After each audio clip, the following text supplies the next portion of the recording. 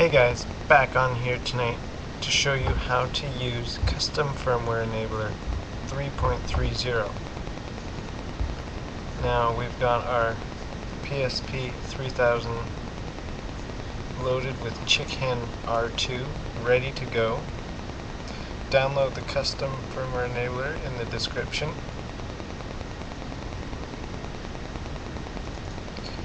Use WinRAR to open it.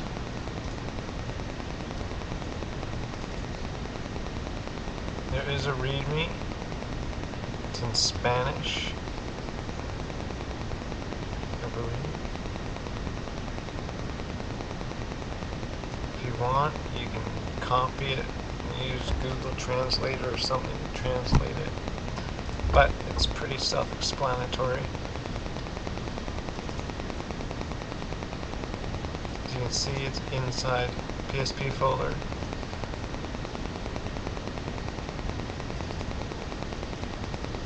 Inside the game folder. So you take the custom firmware enabler,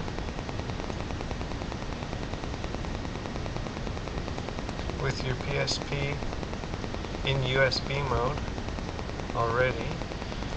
Mine is. There's the game folder. We're going to take the custom firmware enabler, drop it in the game folder.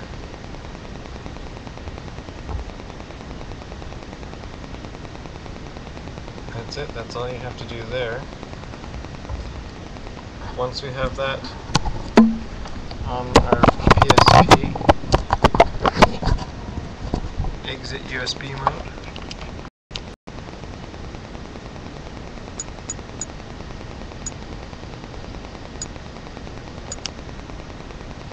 Go over to the game menu, and there you have it, ready to go.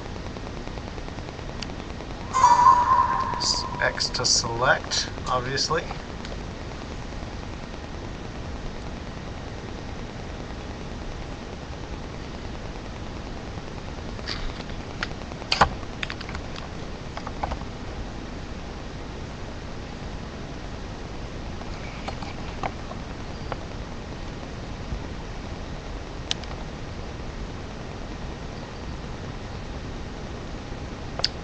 So flash and start.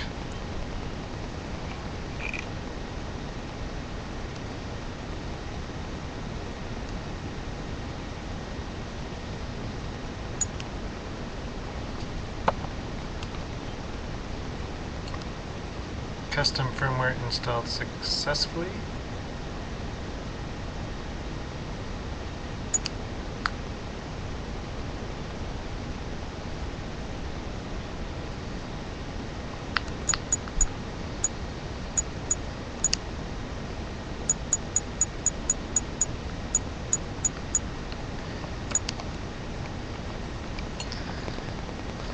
There my PSP 3000 shows 5.03 M33-6.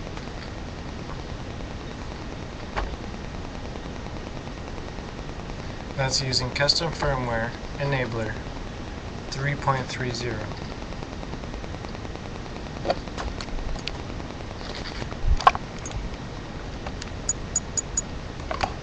Hopefully that helps you guys out getting some custom firmware a little more customization of your PSP 3000.